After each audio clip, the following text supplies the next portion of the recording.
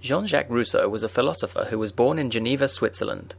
He was raised by his aunt and uncle after his mother died when he was a young boy, and his father had fled Geneva to avoid prosecution for a minor offence that he had committed. Rousseau left Geneva at the age of 16 and lived in various places before settling in Paris in 1742. Rousseau moved to Paris after he had devised a new numerical system of music notation, which he wanted to present to the French Academy of Science. The system was rejected by the Academy, so Rousseau began writing articles on music, as well as music scores and operas and articles on politics and economics.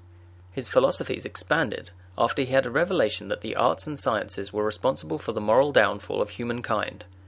He believed that mankind was essentially good by nature, and later intended to redress his philosophical arguments using conventional methods, but instead opted for an essentially negative paradoxical answer, which brought him recognition from his peers and the public. His further works were well received despite the controversy they caused.